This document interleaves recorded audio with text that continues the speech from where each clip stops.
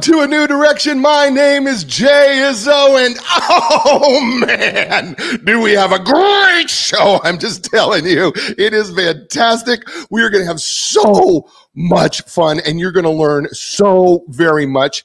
And oh my gosh, if you are watching us live, okay, I mean, okay, great. You know, you watch us live on Facebook and LinkedIn. Uh, YouTube, Twitch, Twitter. Also, we're on DBNA TV if you're on uh, Roku and have an Amazon Fire device. Uh, you know, we have these shows. So if you get to watch it, you're going to have a great advantage. But if you're listening to us, whether it's on a podcast or you're listening to us live on Castbox FM, and thank everybody uh, from around the world who does that. Listen, I'm going to tell you something. I have a guest today. His name is Martin Brooks. And there was this show on TV, and it had about nine episodes, eight or nine episodes, and it was called Lie to Me. and it was about the art of discovering deception, right? It was clever story, right? Guess what? The guy who did the show and the guy I'm talking to have this thing in common. They have this, they have this expert knowledge of body detection and he's got this set of 50 cards called the body language decoder. Oh man, you're gonna love this. I'm, I'm just telling folks, get your notes out. Just just get your pads, get your papers. If you're driving, don't do that. But it, get them out because I'm going to tell you this is going to be fun. We're going to talk about things in business, you, and we're going to talk not just about lying, but we're going to talk about the positive aspects that that can help you right know more about your own body language and what are you telling everyone else including your feet. What? What, what? yeah. We'll listen, get to we're get to martin brooks in just a second but before we do that let's do it every week right? Hey listen we are four part people. We are physical mental emotional spiritual people and here's the deal. Um, in these four parts of who we are right we have to be in constant training of those areas of our life because if we're not the fact of the matter is, if we're not growing, we're dying. We have to be in constant training. So, in the physical area, for instance, what we do on the show is on a scale of one to 10, I ask you every week about your physical training. Like, uh, how is your exercise regimen? How are you eating right? Are you getting enough water? Are you getting enough sleep? Right? Are you doing these things that you need to take care of your body? And on a scale of one to 10, one being miserable, 10 being outstanding, how would you evaluate your training, five being average? Right? So what is your number out there? So here's the deal. Whatever that number is, that's fine. Don't don't get alarmed if you say, well, I'm a two. That's okay. That's a starting place for us to get you to a three. Right? Whatever that may is. Maybe it's putting down the bag of chips. Maybe it's maybe it's, you know, getting rid of the sodas. Maybe it's, you know, I can eat, I should really go out and walk. You know, just just walk a little bit. Good. Okay. Whatever that is, you could start right now. Whatever that is, whatever your number is, it is. Start right now to, to make some changes. All right, second number is the mental number, right? Hey, listen, you know, my background in psychology, you know, I love halves of the brain, right? I know we got a corpus callosum that connects both halves, but we have a left brain and a right brain. And the truth of the matter is about those two halves of the brain is that we have to exercise both halves. We have to have that logical, mathematical side, which is on the left side. We need that creative kind of uh, that creative side that's on the right side. Uh, a lot of times it's music and, and and and language, but we need to kind of combine those two things. You know, it's a great way to get yourself from being a mental loafer sitting on a couch hoping that things come at you. What's a great way to do it is to read like like these 50 cards. If you read these cards, you're going to get both your mental and your uh, your left and right brain. It really is, right? You can learn an instrument, you can learn a new language. All those things help, but you know what? Get yourself doing something on a scale one to ten. How would you say your mental growth is? Your mental training. All right. Third area is the emotional uh, area. And by the way, um, Martin, we're going to talk. Uh, you know, we're going to talk because you know what? Our body language affects our emotions.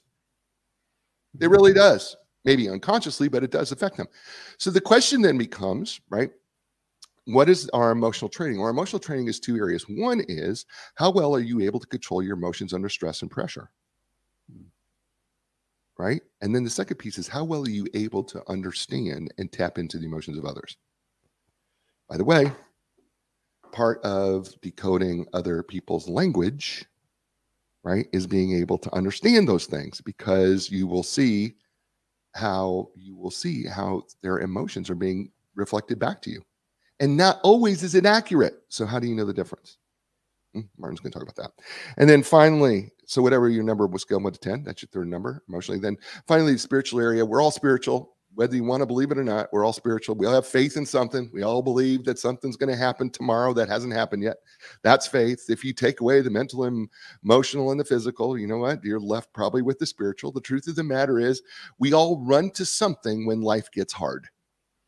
And we make that our uh, spiritual place of where we can come back to center and uh, we try to feel like we can get some spiritual centeredness right and for some people it's god for some people it's nature for some people it's meditation for some people it's something else what is that for you and is it working for you and on a scale of 1 to 10 how is that working for you and what might you need to do to change right those four areas are like the legs of a chair, those four numbers that you have, right? Because you have now four numbers. And you know what? It's if the legs of a chair, if the legs are uneven, right, it creates bad posture. If legs of chair too low, we can't sit at a normal table and eat. And what we want to do is bring those up at the same time. My new friend, Martin Brooks has his legs all the right height and he eats well at the table. And Martin Brooks is a body language expert. He is a top communications coach, author, and speaker. Martin specializes in how to use your body and how to use your body uh, more effectively when communicating. Martin is the author of the Body Language Decoder and creator of the online course Body Language Communication Mastery 100 Ways You Can Communicate with More Confidence, Credibility, and Charisma. He is obsessed with how the world's top communicators use their body language to convince, influence, and motivate us, and with good reason. He has advised businesses, executives, entrepreneurs worldwide on how to use their body language to engage audiences more effectively.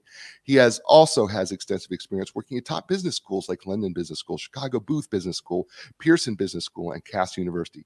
He is he's uh, he has also been a course director at Chartered Institute of Marketing since 2008. Um, in 2018, Martin provided live analysis on the Discovery Channel of Mark Zuckerberg answering some tough questions to the United States Senate. Huh, how about that? And he's frequently called on by the media to analyze business leaders and politicians. He has been featured on BBC Radio, LBC Radio, and appeared on BBC Two during elections. Ladies and gentlemen, please welcome to the show and welcome for the first time ever on A New Direction, Martin Brooks. Martin, welcome to A New Direction. Well, thank you. It's fantastic to be here. Looking forward to this discussion. I am too. I am so stoked about it. All right. I don't want to get I don't want to get too far ahead because uh, the body language decoder is uh, just a just a, such a clever. Uh, I you know I don't know I can't call it a book because it's it's these cards mm. and this little booklet um, helping us understand uh, about body language. And I know everybody's so interested in deception, right? They all want to know is somebody lying to me? Somebody lying to me. We all want to know that, right? But we could we could kind of but that's not the only reason that's not the only reason that we're we, we need to study body language is it?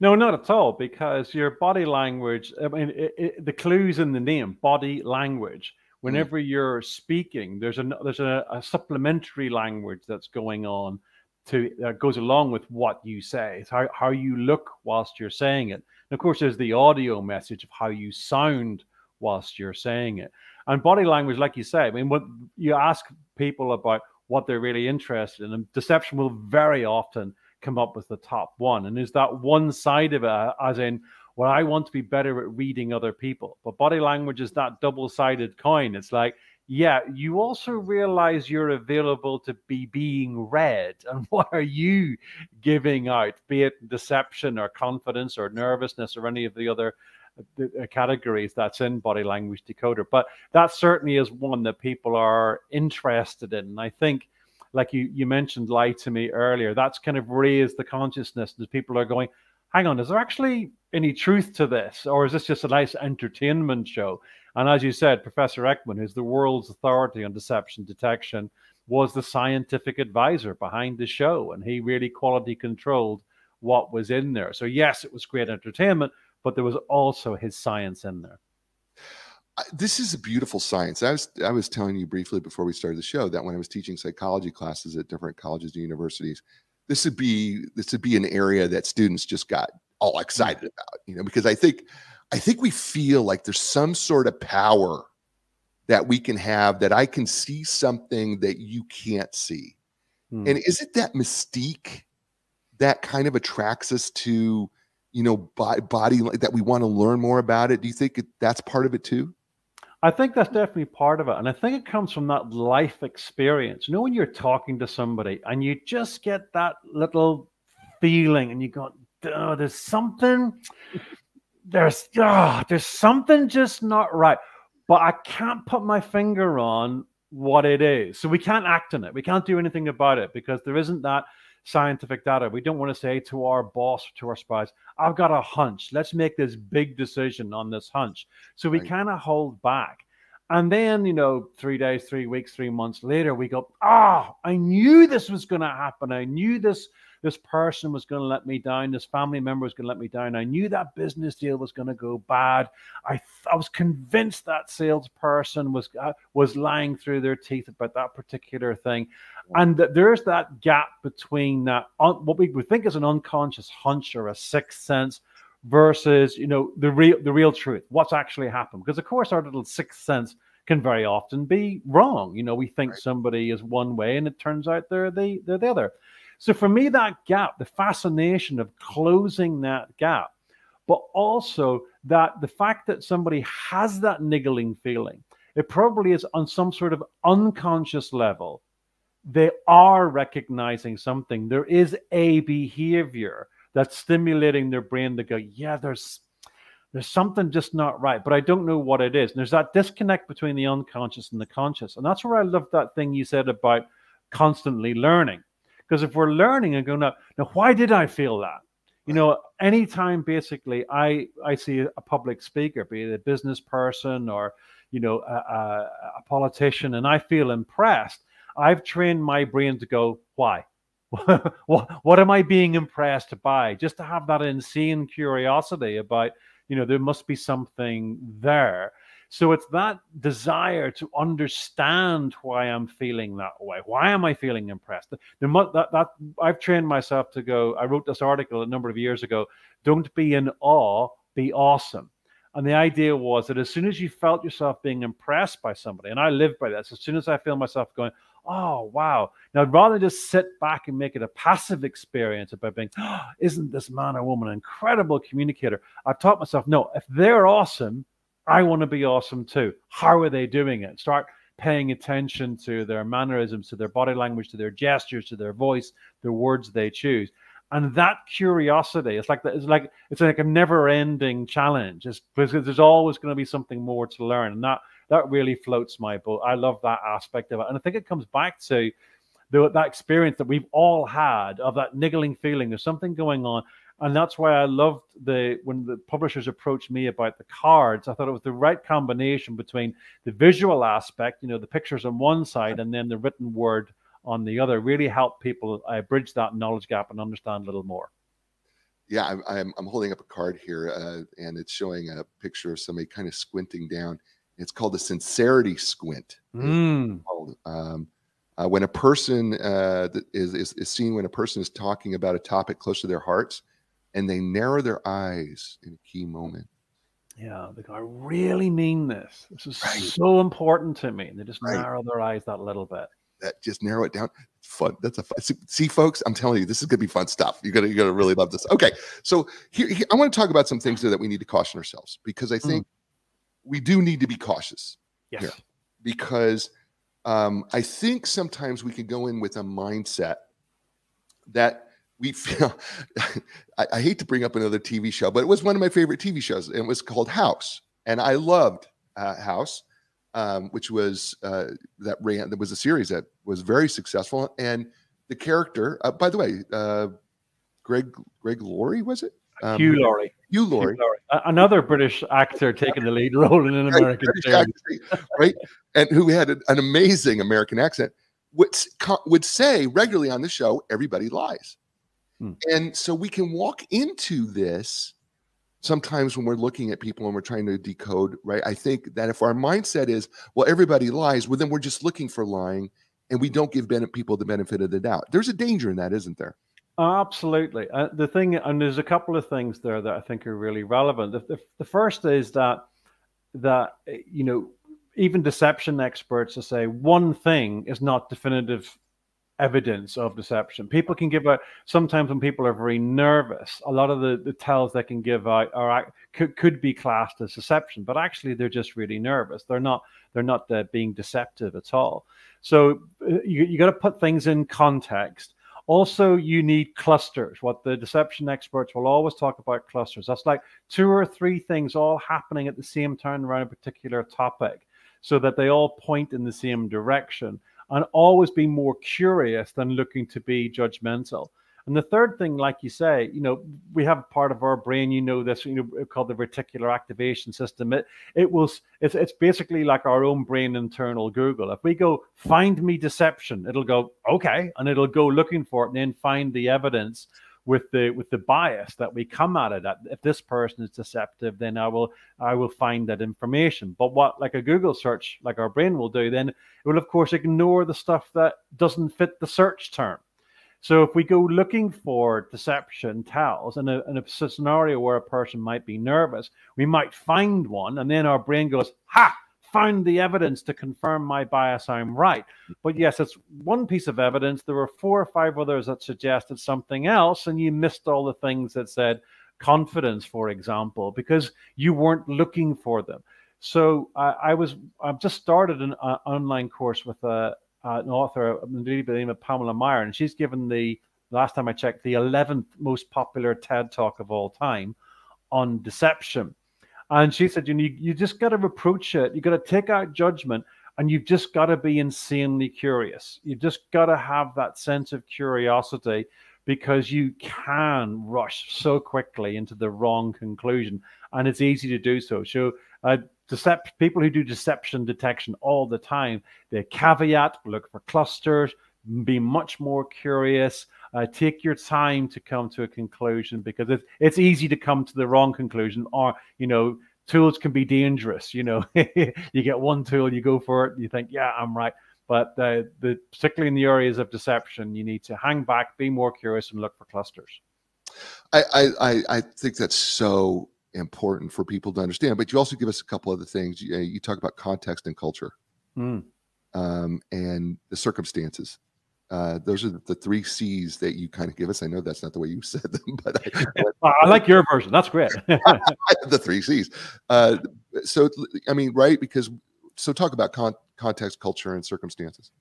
Yeah. So if you talk about context, for example, another really famous deception expert, a guy called Joe Navarro. I mean, he he tells this great story about how he was interviewing this person. He was convinced that they were that they were being deceptive. And then when he voiced his concerns and he and he actually said to the person and they they voiced that they were worried that their car meter was about to run out. You know that's that's what they were thinking. That's what was driving their emotion and that was what was driving their behavior at that precise moment in time. And it was like to him it was like a real learning point about well context you know i'm seeing evidence but what am i seeing evidence of? Am i putting this in the right context. So that's a, a huge one. Uh, culture can be different. Different cultures around the world express themselves that little bit differently. There's always those little uh, nuances. Um, but also, you can get like, you know, the culture when you're communicating with your family versus the culture when you're communicating with your workmates. I mean, that can be a very different culture, what behaviors are acceptable or unacceptable, or, or, or what, be, what become the norm within those particular uh, environments. So you got context, you got culture, and then you got you got you got t- context. You know, where, where, where's this happening, and what what's going on? How well do these people know each other? Let's let, let again coming back to that curiosity rather than than rushing towards any any conclusion. Remembering, as we said all the time, that yes, it's fascinating reading people, but we're also giving out messages. And what is our what is our body language saying to other people? Yeah, I, I, it's so it's so incredibly important that we keep this whole context thing in, in the context that the, the, culture, the circumstances, because it's going to help us really understand. Also, uh, as you say, you know, it's going to help us understand ourselves uh, mm. because uh, I think we all know that you know, given given the right context or the right circumstances, I may not be giving you the accuracy. My body may not be giving you the accurate mm. accurate signals. Yeah. Uh, you know, depending on what's going on, and and you talk about that at, at length that there are certain circumstances that you find yourself in that you sometimes you could be. What what did Jerry Seinfeld say? he said um, he said you know according to the research um, you know the number one reason uh, people are more afraid uh, that people are more afraid of speaking in public yes than they are of dying yeah so, so he said it would be better to be in the casket than to give the eulogy Yeah. and um, uh, i'll let people think about that and laugh later but uh, uh, but the truth of the matter is when and i'm a public speaker you're a public speaker and you and i have done this for you know probably decades and uh, speaking in public. And i mean i still do, do get butterflies probably like you do. Absolutely yeah. But but we're we you know you kind of get used to controlling it and you kind of know what you're doing but i've seen a lot of people who you know I, i've seen them backstage who are not you know regular speakers and boy they're just they're, they're giving you a whole set of body languages that you know is incongruent with what's going on inside the body right? I mean so even those circumstances can change how we how we react right? I mean i, I mean i i don't know some people get starstruck right and they're in front of fame and you start to see their body language alter right from what maybe normally would be right that, are those pretty good examples Yeah, I mean, I mean, public speaking is something I've done for years. I actually, I've coached public speakers. I've coached uh, last, I think, six TEDx speakers. You know, helping them prepare to do TEDx uh, uh, talks. And one of the things that's fascinating to me is about uh, the the the body language that people give out when they're nervous and how they manage that. And when I studied psychology, one of the big things I took away from it right at the start was something called state management. What what state are you in and how do Right. you do that? And realizing that, well, actually, the state that I'm in and the state that I want to be in are two entirely different things. And now, how do I get from one to the other? right There's an, all, all sorts of different tools and tricks that I've picked up over the years, but certainly body language is one of those whereby, you know, motion drives emotion. So if you if you move in a particular way, if you I mean the science is all there. Amy Cuddy did a fantastic TED talk on this. Awesome. You know, your how you're how they how they proved. I mean the the grandfather of psychology, a guy called William James back in the 1890s, proffered this idea about body language and you know act and act as if and and people will start treating you in a particular way if you act that but you know a couple hundred years later we, we were able to get the science. We were able to test the levels of testosterone in people's systems you know a few minutes after they stand or move and gesture in a certain way versus if they were more slumped or, or behaving in a, a more nervous way.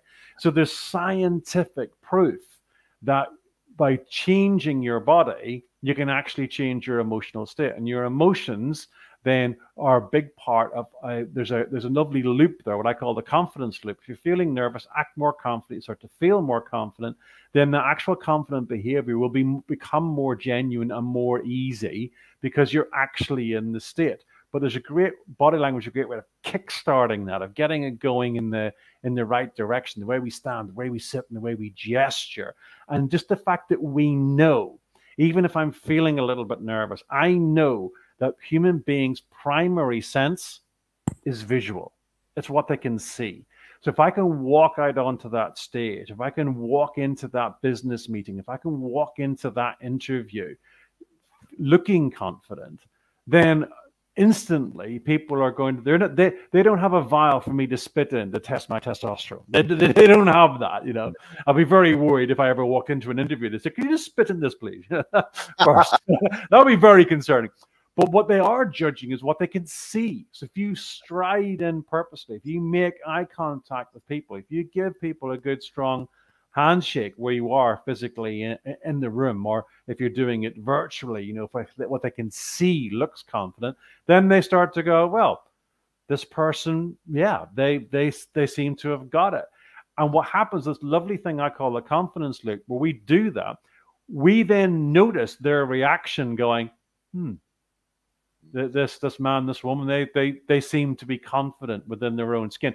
And that then doubles back to us and we go, ah, it's working. Yeah. So then the, it starts to become much more genuine. You get we get those endorphins and the serotonin and the happy hormones kicking in to back up what we're kind of kickstarting with our body language. So I love that aspect of it. And being a public speaker and being live on television or live on radio, uh, the, the, first time I ever appeared live on on television, the, the journalist came to me before the show aired and said this thing to me. I'll never forget. She went, you know, there's 120 people in the room. There are 20 people who are guaranteed a question. You are one of them. Whether you get a second question or not depends upon the quality of your answer. Because I'm going to ask you the question. I'm going to have my producer in my ear.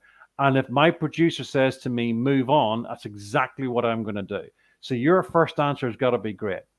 But I can't tell you what the question is yet because the debate that you're analyzing hasn't happened yet. But what I so but that's what I can tell you. You're going to get one question. If you want a second question, the answer's got to be good. So it's like, you know, initially it's like, okay. And then it was like, well, how do you reframe that in your own head? And I noticed my body language shrink and I noticed my start myself start to feel nervous. And I went, well, that's the natural reaction. But now sit up straight, throw your sh- shoulders back, smile, and go, what a great opportunity to be able to prove what I can do.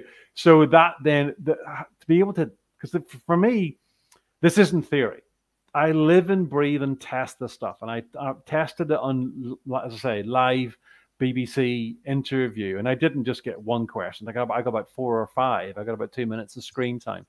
So the the fact that it, you can test it yourself, and it it doesn't have to be particularly complicated, like simple things like this, like the double-handed chop. It's a real good assertion, confidence gesture. Use it. Notice how you feel. Notice how other people start responding to you when you do that versus like flail your hands around or have them behind your back or in your pockets. You can, it's very, very quick and easy to apply this stuff. Notice how it makes you feel and how other people respond to it. And I love that piece. His name is Martin Brooks. The the I, it's not a book, but it is. It, it's it's called the Body Language Decoder. It's brilliant. You can find it everywhere. You're listening to him here on a new direction. Hey, folks, listen. Uh, two great sponsors. Uh, Got to get them out. You know what? Have, have you ever had an injury? Have you ever had surgery? Right? Are you suffering for everyday aches and pains? We all do, right? So look, if you're if you want to just even improve how you move and feel, right? Go to Epic Physical Therapy. They're my physical therapists. They're awesome. They help everybody from people like you and me to professional athletes. When you're ready for your epic relief, your epic recovery, and your epic results, just start right there with Epic Physical Therapy. That's epicpt.com. That's E-P-I-C-P-T.com. And Linda Craft and Team Realtors for more than 35 years. They've been at the top of the real estate game, helping people sell their home and buy their home.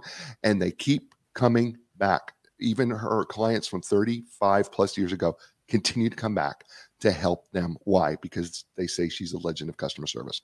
So when you're ready to get your sold sign, when you're ready to find your first home or your next home, start with Linda Craft at Team Realtors. That's L I N D A C R A F T.com. That's lindacraft.com, L I N D A C R A F T.com. And we're back here on a new direction, and I'm with my friend uh, Martin Brooks, who is so much fun. Is he great? Oh my gosh, he's so awesome. I'm just, I'm, I, I I, am just blown away. So uh, these cards, uh, these cards come in uh, seven different colors. There's 50, there's 50 cards in this deck, and each one, each color, like I'm holding up a purple card right now, and that's uh, the nervousness category. Um, and uh, this one's called self-touch. Mm.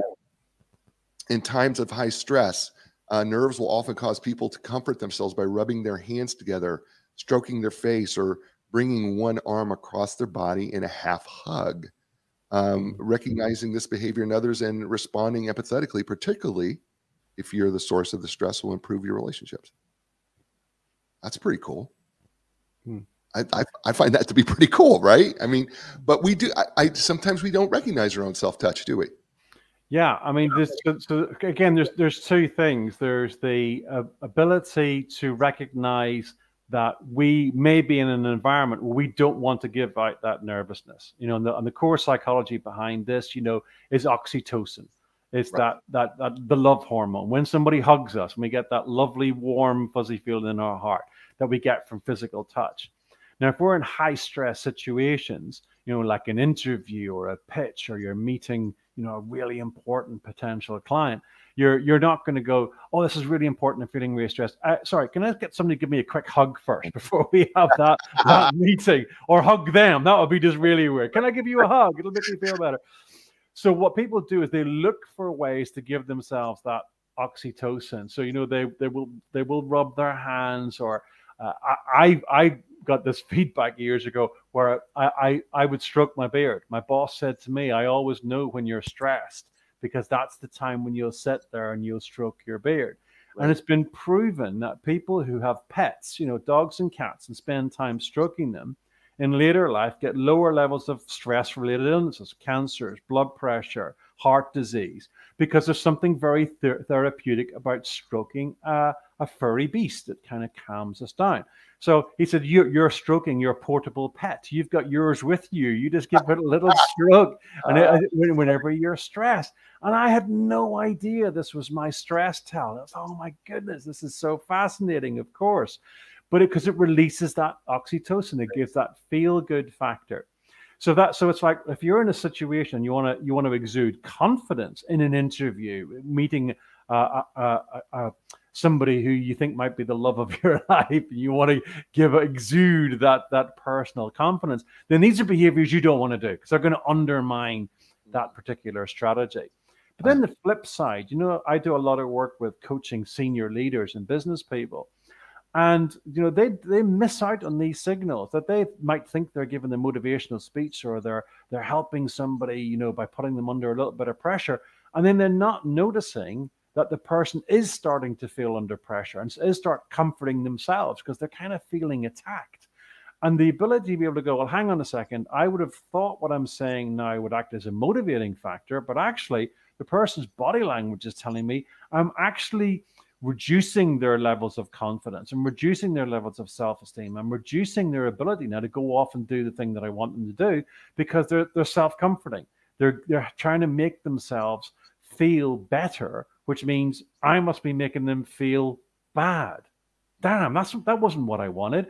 So the ability to be able to self-correct because we're looking to be able to tell, hang on a second, I wanted this person to feel more motivated or more more energized or or more go getter. And actually, I've said some things, and now the responses are that they're feeling something completely different. Well, boy, that was the wrong strategy, or it's not working with this particular person. So, that ability to be able to, to read some signals and self correct and change tack based upon how people are responding to what we said is a huge skill that I think is really, really undervalued as well, but in, in both uh, our, our personal and our professional lives. Uh, yeah, we're we're gonna uh, hopefully we're gonna get into it. We're, this is because this is so fascinating. I'm enjoying every bit of this. This is awesome. Um, all right, uh, I want to talk about the top tips for body language decoding because you wrote about this too uh, in the book. Um, you said the eyes have it. What do you mean the eyes have it as a tip? Yeah, well, the thing with with with eyes, there's there's, there's so much our, our eyes can can tell us about what a person is thinking or feeling. And I mentioned in the uh, one of the earlier things we were discussing there, but when you walk into a room, you know, make eye contact with people. You know that that is a signal of confidence. It's like, you uh, look me in the eyes.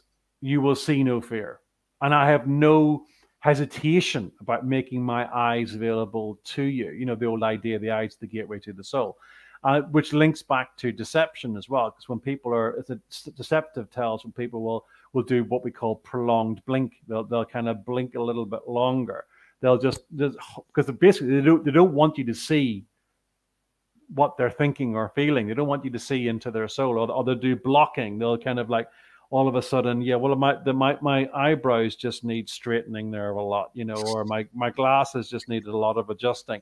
Just trying to block the eyes. Right. So doing the opposite of that, you know, and making good levels of eye contact with people shows confidence. But also, uh, you, you said to me at the start of the, the shot, you know, if I if I look away and I make notes, you know, that that or, or I, I might be, be replying to somebody. Now that's interesting because part of your brain was I don't want Martin to think I'm not paying attention because I'm breaking eye contact. Right. So you're almost like flagging. That's because you know how important eye contact is, yeah. particularly when we're listening. You know, if you give people that eye contact or the virtual world now that we're doing, you know, the temptation is to go off to the side and kind of do things. But, you know, that little camera, that's really important that people see you making eye contact and paying attention. So the eyes are something that, you know, they may not be the big grand things that you're you're paying attention to, but pay attention to people's eyes. They will tell you a lot about what's going on. And of course, with your own eyes, what are you doing? Make sure you're looking and observing and paying attention to what signals people may be giving you and what that might be telling you and how you might adjust to your next question or the next thing that you say. Uh, beautifully. That's just so beautifully done. Um, don't forget the feet is the next tip. Okay, what do you mean, Martin? Don't forget. well, it's interesting. Joe Navarro says this thing. He said about you know that our, our because our feet are so far away from our brain that they they tend to be uh, unfiltered ideas about what's going on. My favorite one is the feet placement. So if you're standing talking to somebody and their feet are pointing directly at you, they're interested. Uh, there's a good general indication that they're interested in what you want, uh, what that what what you're saying. They've got a good level of interest. They're looking at you and their feet are pointing towards you. Now, uh, in the business world, I've been to hundreds and hundreds of networking meetings and have the opportunity to watch this particular piece play out. There's always that thing when you meet somebody at a networking meeting and you're chatting away to them and you're going, inside your head, you go, Are we done yet? Have have we both said what we want to say? Can, can I leave? Or, or, or, are you still really engaged in what I'm saying? I'm not. I'm not sure. Um, and then very often, when people are being polite, they'll end up spending maybe 30% of the time they spoke together where they didn't actually need to continue speaking because what they both said what they wanted to say it was fine, but they weren't sure about when to leave. Yeah, so the feet. So when the feet are pointing towards you, then they're interested. But in that conversation, if one of the feet turns away, then that could be their their feet telling what the brain is saying. Yeah, I'm kind of ready to go. I've kind of, you know, I'm done here. Can you kind of let me know? Can I can I go now? It's almost like let me go. Right. Now, the interesting thing about this is that there's there's a, a, number of stages to this. So the first one is the foot, foot turning out. Now, in this stage, normally people are having most of their weight on the foot that's still pointing towards you. Now, you want to spot it when at that first stage because stage two is where they transfer their weight onto the foot that's pointing away which is like, would you please let me leave? Because if you don't let me leave, I'm going to go anyway. uh, that's beautiful. And the number of times I've been at networking meetings and I see people leaning on that outward turn foot and the other person completely oblivious, going, blah, blah, blah, blah, blah. Oh, let me tell you about this thing, blah, blah, blah. And they just don't see the signals because they're not looking down. They're not paying attention to the feet. And it's just absolutely fascinating what the feet can tell you as well. I love that. Okay, here's one of my favorite. Here's another tip that you gave that I think is one of my favorites. Find the line. What what is their normal? Yeah, yeah. Well, absolutely. I mean, this is this is one of the the, the great things about uh, about deception detection, and it's like even Paul Ekman will say himself. Here's all the, the the deception detection tools. Here's all the techniques and everything else but he his last line in, in a keynote I saw him give was like, however, your your greatest indication of deception will be what he calls variance from baseline. Variance from baseline. So, what's that person's normal baseline? How do they behave? How do they gesture? What's the normal pitch of their voice? What's the normal speed of their voice? What's their normal blink rate? How, how, how often do they look away? That gives you a baseline, you know, of, of, how they normally communicate. Then you come to some touchy subjects. So if you're, if, I don't know, if you're if you're talking to a, a realtor, you know, well, how, how much flexibility has the seller got on price? and they start blinking more and they start breaking eye contact more. And if their speed of speech goes up, or if their their pitch is down here and then they go up here, it's like, oh, that's interesting. What what just happened there? Right, so if you right. think of like you know like a cardio meter, you know, all of a sudden it go or you know the Richter scale, all of a sudden it goes whoop. you know, ah, now that's interesting. I just peaked there. So that's a that's a big variance from from baseline. So when you're first meeting people, particularly if you've got to make a decision, like you're you're interviewing or being interviewed, or it's a salesperson, you know, in 20 minutes, you got to make a decision about where they're going to buy from them or not. If you're interviewing somebody, am I going to hire this person or not? I'm at least going to put them through to the next round. then it's a fantastic piece of advice of get the, a good sense of their baseline. So ask them some things that they'd be under no performance anxiety about. How was your weekend? You know, what what did what did what did you get up to? So, particularly, uh, I've done a lot of work in teaching uh, uh, executives in sales and sales roles, and I said that when they come to meet you at the front desk, that the walk from the front desk to the room where the meeting is can be the most valuable piece of body reading real estate that you can get because that's the opportunity to get a good baseline. So, how long have you been in this building? Or what's the commute like? Or, you know, eh, how, oh, how, have they got it? Where, where are the best restaurants around here where you go to at lunchtime? Any piece of communication that will be give you that normal piece of baseline between meeting you at the front desk and then at the meeting room or the, the, the conference room, wherever you're having that meeting that's hugely useful. That that chit chat that you will have on the way to the meeting, or even even if you are sat down at the start of a meeting or in a or in a Zoom call or whatever it is. So hey, how's it going? What's the time over there? Where are you? Oh, fantastic. What's the weather like? All of that is an opportunity to get a, a baseline for body language, for voice, for pitch, all of those things, which then gives you the contrast of when you talk about price or availability or well, something that you think somebody might be deceptive later. It gives you a contrast between, well, here's the baseline, here's what's happening now. Ah, that's interesting. That that tells me a lot, and that can help you uh, decide. Well, what question am I going to ask next, or what ultimately is going to be my decision? Gather as much information and you as you can. And variance from baseline is a is a fantastic phrase that I've stolen from Paul Ekman about figuring out, you know, the truthfulness of the person right now versus when they were talking to me about something fairly innocuous like what they did at the weekend. His name is Martin Brooks. The book, uh, the cards, the book, the booklet, the booklet, and the cards.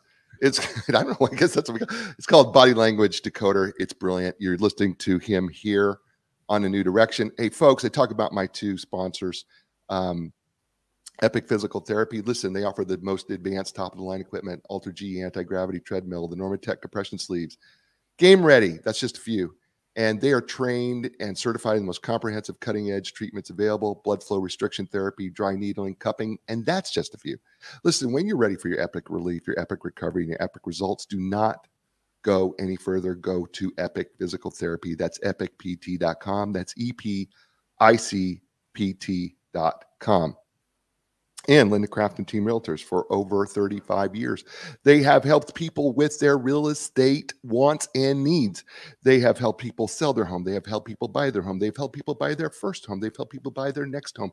And they all keep coming back. Thousands of people have done it over the years, used Linda Craft and Team Realtors for their real estate needs. You should be one too. Just go to lindacraft.com. That's L I N D A C R A F T dot com. Martin, we're going to take a quick break right here, and um, just for for about two minutes, and we're going to come right back. Are you okay with that? Cool. Okay, hold on.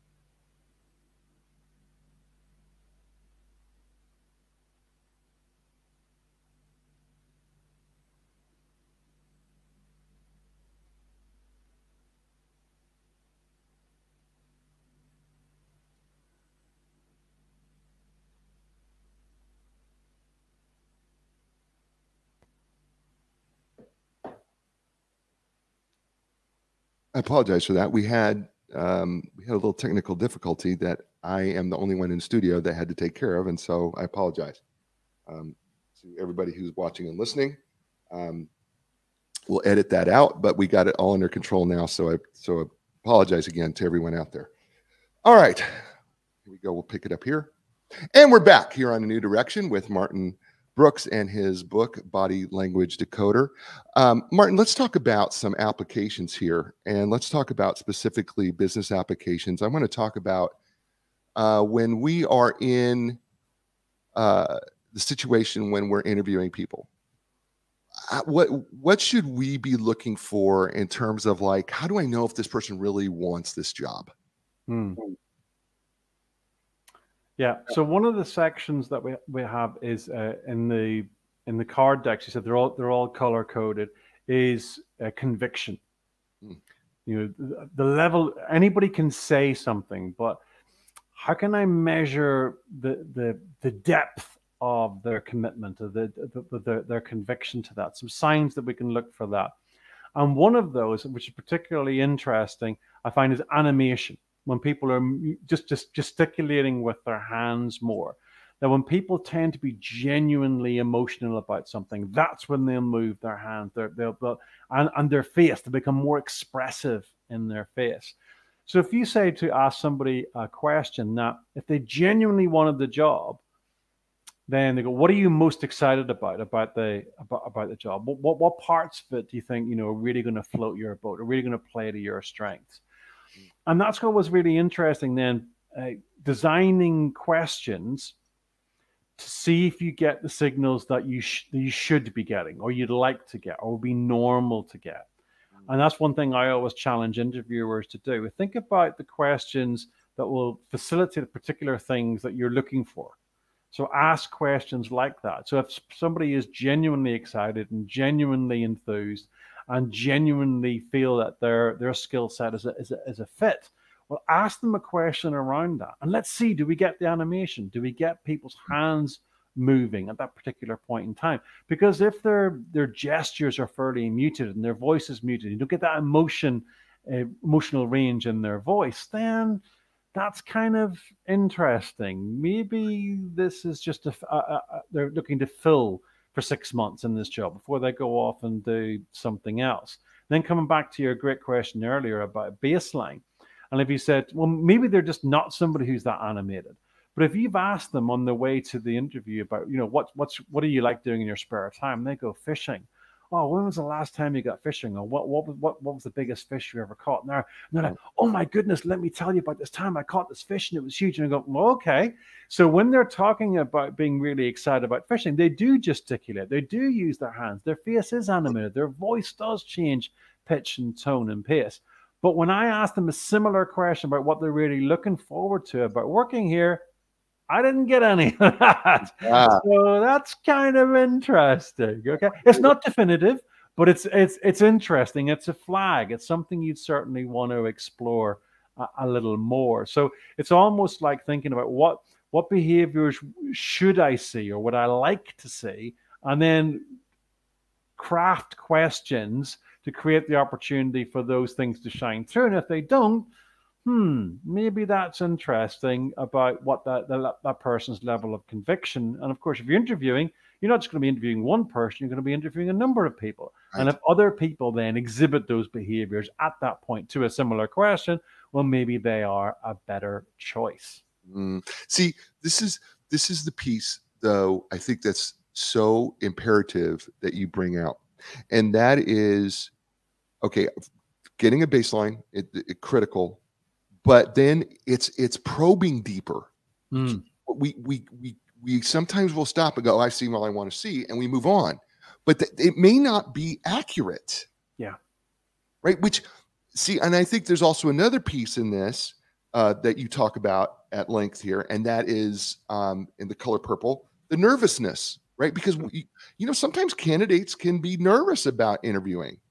And yeah. so we have to pay attention to those signals as much as we pay attention to, okay, well, maybe they don't really want the job. Well, nervousness can give us tells that aren't accurate either, right? I mean, isn't that part of it too? Or shouldn't I be clued into that as well? Absolutely. So in an interview, for me, it's always about is it the environment or is it content? So if somebody can be a brilliant public speaker and really know their somebody sorry sorry let me backtrack. Somebody can be a real subject expert, really know their stuff, and if mm-hmm. you talk to them one to one, you know they come across really confidently. Now I've coached very senior executives in business schools, as you kindly said in your in your introduction there, and I've sat down and talked to CEOs and VPs and just been struck by the incredible experiences that they have had and places they've done and business deals and businesses they've built. And then I was there specifically to coach them on how to be a better public speaker. So they stand up in front of a room, in front of four or five of their peers, plus an expert who's going to be analyzing their every move. And it used to strike me constantly the sea change in terms of their behavior, knowing that they're being analyzed by their peers and by somebody else, and they're all of a sudden getting all these nervous behaviors. And like part of my brain would go, well, where was that confident woman that I was talking to five minutes ago who right. ran this multi million dollar international business versus this woman up here now who's giving me, you know, loads of nervous behaviors? Now, that's got nothing to do with their capability but it's got everything to do with the environment. They're stepping into an environment they find stressful. And that's where we got to, you know, like culture, context, you know, situations that people are in that you touched on earlier. You know, we could we could rush to quick judgments in a particular environment, like a job interview, like a big presentation or or pitch, or like in a meeting, just all of a sudden be put on the spot. Is it the environment or the scenario or the context that's driving those nervous behaviors versus what the person actually knows or thinks? Mm. And we always have to have that kind of critical, you know, thinking cap on. Is this is this environment or is this really indicative of what the person is thinking or feeling about the content? To be able to separate those out. And that's where one of the tips I had in the in the little booklet is, you know, if you want to really get the best out of somebody in an interview and you notice these nervous behaviors, put them at ease. Say, you know, I, I, I always used to find interviewing, being being interviewed, really stressful. And you you never imagine. I, I you know I forgot my boss's name when I was interviewed once, or I forgot the name of our key product. You know, build that empathy, build that relationship, put people at ease because we want the best. We want to get the best quality data from them to make a decision on.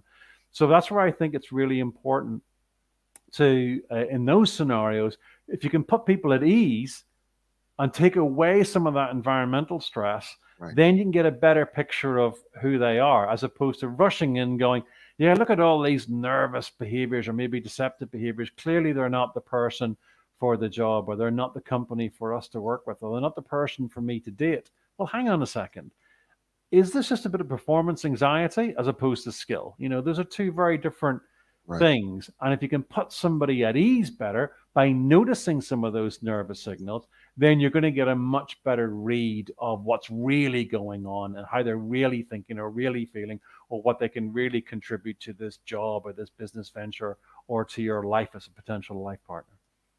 Uh, that, that's so awesome. Okay, I want now I want to go to the sales right? Because I think there, there there is so much when it comes to selling people something, right? I mean, you have the thing called the power play and people expressing interest. And I know that those two play a role, confidence plays a role, mm-hmm. but connection is so important. Um, I think we talk, you know, I think, I know, we talk often in, in, in sales, right? They talk about uh, building rapport. Yeah. Right. So frequently but but it connecting with that potential customer because by the way folks if you're out there b2b or b2c at the end of the day you're talking to people okay yeah. I mean that that's the honest truth. You're, you're going to make a connection with people. So don't don't get caught up well it's not the same in b2b b2c no somebody's making a decision and that's a person. It's not an entity. So yeah. connection becomes important.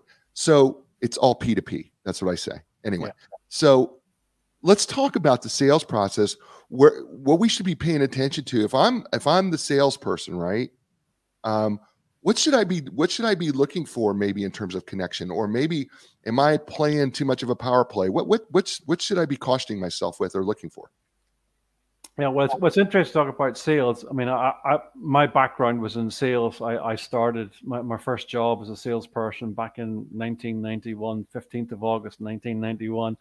The, uh, the then I, I, that date. Can you tell I me? remember that. I specifically remember that date. 15th of August, 1991 was my. Uh, I'd done other jobs before, but that was where my career started in sales. And I ended up doing a lot of sales leading and sales coaching. And then when I started up my own consultancy business in 2002, uh, sales training. And for me, it's, you know, you, you're so right. It's not B2B, it's not B2C, it's all P2P. You know, uh, the, I think it was the rapper Chuck uh, Chuck D said, uh, in order to, for people to buy from you, they have to buy into you. Mm. In order to people buy from you, they have to buy into you. Right. Now, so then we're talking about rapport, we're talking about relationship, we're talking about trust, we're talking about empathy. Now, all of those things we want to be aiming for, but how do we do that? How do we notice what is or isn't happening? And how do we, I mean, one of the, the biggest underrated body language things is how can you communicate that you're listening? You know, we talked about the importance of the of the eyes. So even even the mouth cover, just to rest your chin on your hand and put one finger over your lips, which is a clear visual signal to the other person You've got the talking stick. I'm listening. You know, because what do salespeople love doing? You know, I know I'm one of them. They love talking. But actually, to ask a really clever question, so what are the biggest challenges in your business? What what what worries you? Tell me. And just and just shut up, and and clearly signal to the person, you know, but but with the mouth cover, you are now talking. Now we're not just doing that because it's a good thing to do to let people talk but genuinely listen. And that's where you want to use your facial expression. We talk about mirroring expressions. So if somebody says that's really frustrating, you'd want to go, and, and they're going, it's so frustrating. You know, they screw up their face. You know, it's, it's very annoying. And you want to go, mm, yeah, I, yeah, I, I, I get it. So you're signaling with your body language back empathy.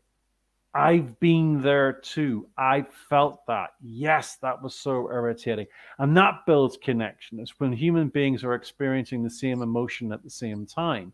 That is a huge psychological uh, connection when there is that, that, that meeting of emotions. We're both experiencing the same emotion. That's why you can be standing at, at a carousel in an airport and not talking to the person left or right of you but announcement comes on, and we're really sorry, the baggage is going to be delayed. We don't have enough body language. Now, eh, we don't have enough uh, body um, uh, luggage people, you know, to get the stuff off.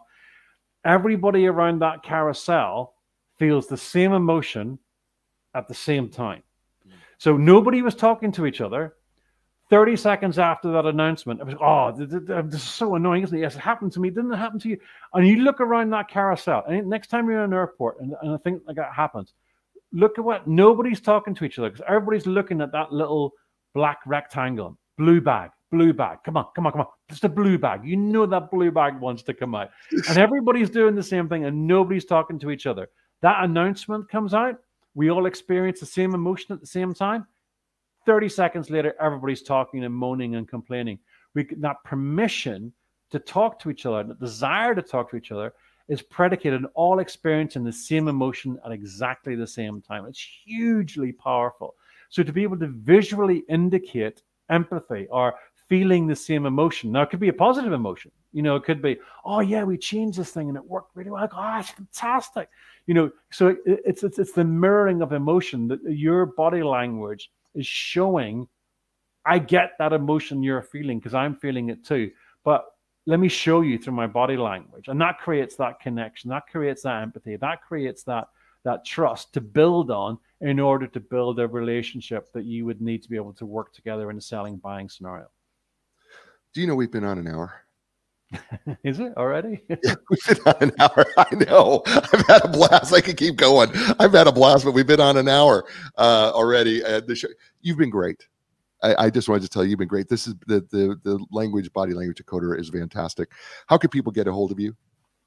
Okay, so the, uh, the website success through impact.com has got lots of videos and tips and on there. If people are on LinkedIn, Look me up, Martin Brooks, B R O O K S. You can find me on there. Again, I've released some uh, cool little tips and bits and pieces and observations that I've seen in the news and body language decoder. You can find it on Amazon.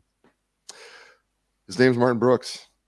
The the cards, the 50 cards, body language decoder. I told you he was brilliant, and he was better than that. I'm going to be, listen, folks, you know, I say to you every week, you're in control of two things, regardless of your circumstances. That is your attitude and your effort. Doesn't matter what they are, you can always control those two things. May not be always easy, but you can take control of them now. To be back next week with another great guest. It's going to be another great book. It's going to be another great show. As I say to you all over, all over the world, you know what that is. Ciao, everybody.